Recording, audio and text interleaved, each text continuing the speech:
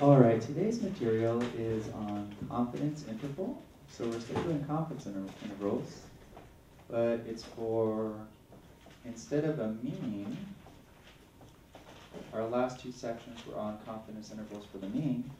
Today we want to look at confidence interval for a proportion. Okay? So I need to give you some new symbols right away. We have the letter P. This stands for the population proportion.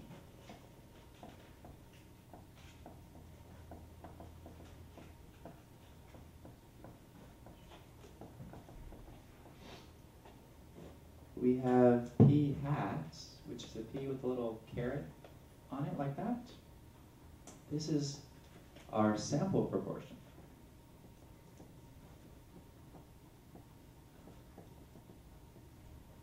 All right. And then when you're figuring out your sample proportion, P hat, it's x over n, okay? N, of course, is the size of your sample, so n is always sample size.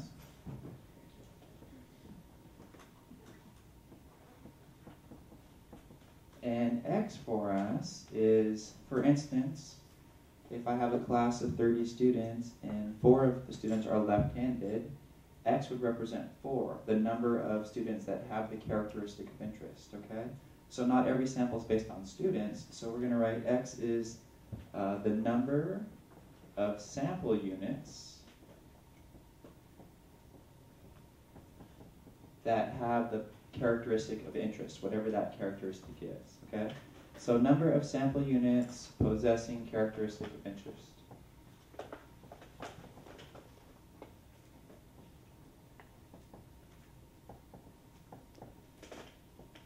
Okay, and that'll change, you know, in every problem.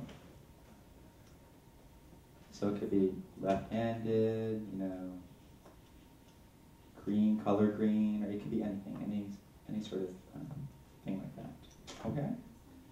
All right. Uh, if you have a p hat, we also have a q hat.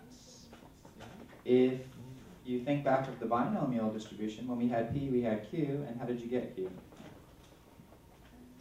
One minus p. Yeah. So q hat is just simply one minus p hat. Okay? So these problems are going to look similar, but they'll also be different in that it won't say anything about the mean, it'll ask a better proportion. So what's the 95% confidence interval of the true proportion? Okay? What's the 90% confidence interval of the true percentage or proportion? Okay? All right, uh, in a sample of 200 students, 118 of them had taken a math class. Okay, so example one. We have a sample of 200 students.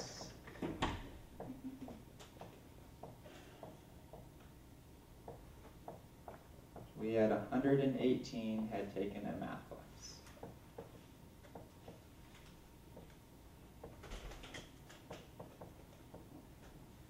All right. So all I want to know is what's p hat and what's q hat for this problem. Okay, so a couple of things. We have a sample of 200 students, 118 had taken a math class. So the characteristic of interest that we're talking about is students that took a math class, right? So there's 200 total, so that's the bottom number, and 118 took a math class. Okay? So you can plug that into your calculator, and that will give you p hat. So 0.59 comes out to a nice number. So if p hat is 0.59, then q hat will be 1 minus 0.59, right? So 0.41. And that's the end of that first example. Okay? So it's just getting you guys comfortable with this p hat and q hat. Because in our formula, which I put it on the board, which I'll do next, you have to be able to solve for those. Okay, great. Let's look at what our confidence interval formula looks like now.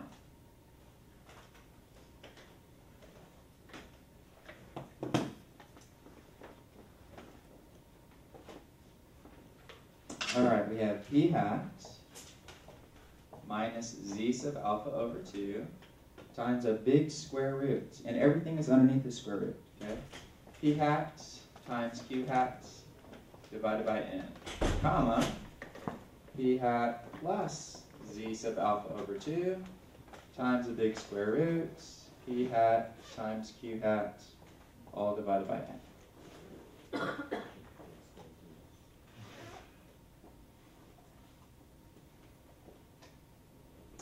Okay, so we have good news and bad news. Um, again, z sub alpha over 2, that is familiar to us because we've done that before with our confidence interval for the mean, right? So that's not new. P hat and Q hat are relatively easy to find, usually in the problem, and then n is sample size. The little bit of bad news is sometimes it's tricky. This whole thing is underneath the square root, so you have to be really careful that you have p hat times q hat all divided by n all underneath the radical. Okay, so uh, you're to put parentheses with that radical. Okay, let's do an example. In a recent study of 100 people, 85 said they were satisfied with their present home. Okay, so example one. We have 100 people surveyed, and 85 said they were happy or satisfied with their home.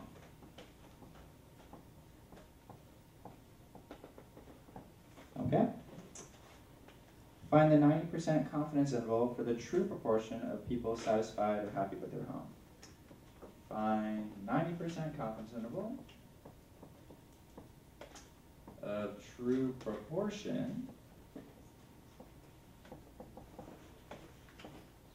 So it should be fairly obvious because in the question itself it says find the 90% confidence interval of the true proportion, right? I forgot to put confidence interval. Of people happy with home. Okay.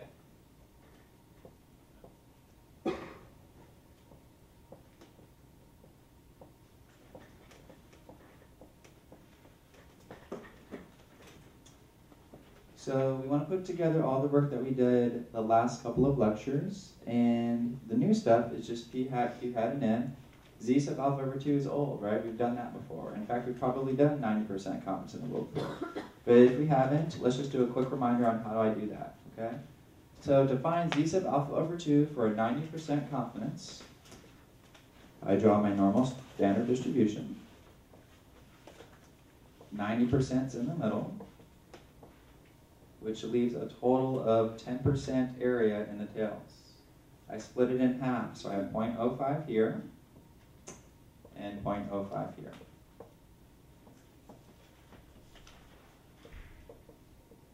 Then I go to the front cover of my book, or the Z table, and I try to find the closest thing I can in terms of area to 0.05. So I'm looking at the negative side, and I'm trying to find the closest thing I can to 0.05 and it's right in between negative 1.64 and negative 1.65, those two z values. So I use negative 1.645 as my value. And then, of course, on the positive side, it'll be 1.645. Okay? Please make sure you can do that because that is on your next test. All right, and then in this problem, what is p hat going to be? 100 people, 85 were happy with their home, so what's p hat? 0.85. 0.85, right? 85 out of 100, which is 0.85. Great. Q hat, therefore, is 0.15. So we have p hat, we have q hat, we have z sub alpha over 2. You know n is 100. You have all the values that you need to solve this problem. So go ahead and plug those values into your confidence interval, and then let's get the answers.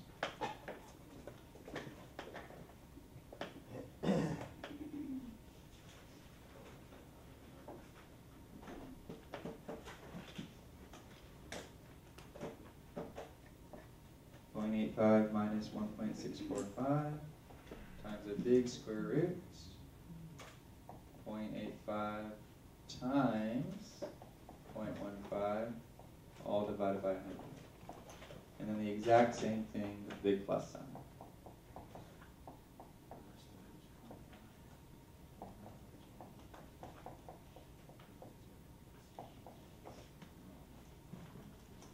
be super careful plugging that into your calculator, and let's go ahead and go out four decimal places.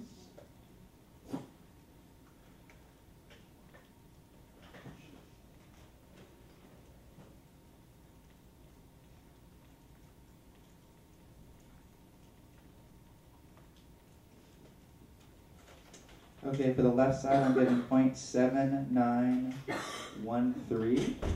So 0.7913. And then for the right side, 0.85 plus.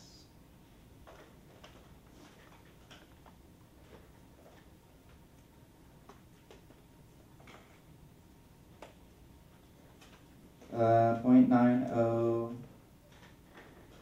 eight seven point nine oh eight seven.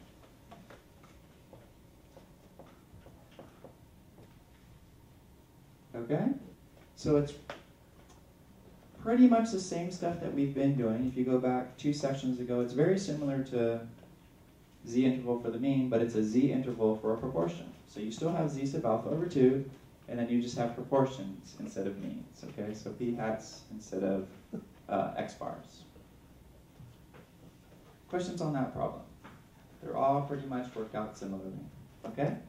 And if you also go back in your notes a couple sections ago, we also had a minimum sample size needed. So there is a minimum sample size needed with this section too. So let's take a look at that formula.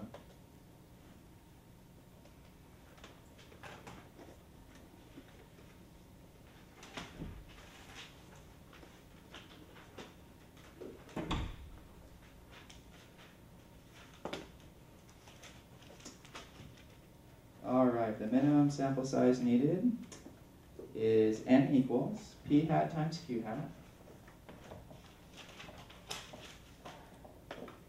times parentheses z sub alpha over 2 over e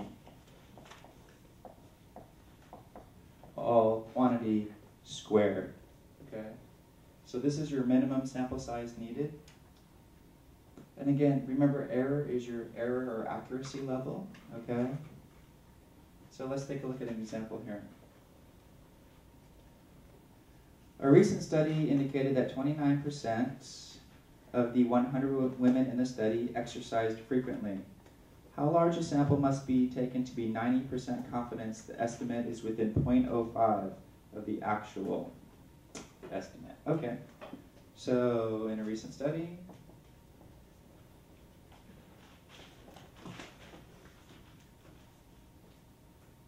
29% of 100 women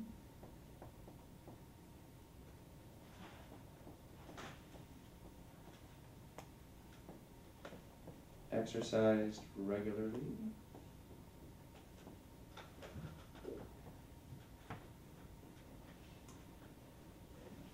What sample is needed to be 90% confidence?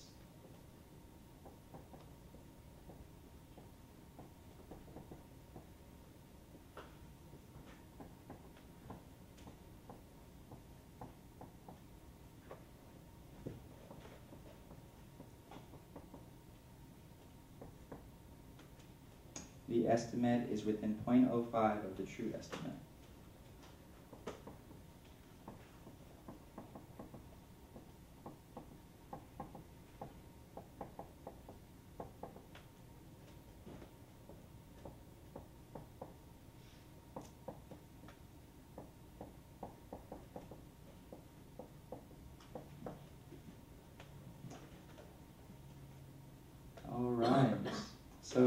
Bunch of numbers here. Let's take a look at some of these.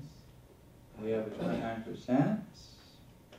We have 100 in the study. What size sample to be 90% confident? The estimate is within 0.05 of the true estimate. Okay? So let's start with 29%. What does that represent in this um, formula here? This is the study, right? So this is the actual P. Okay?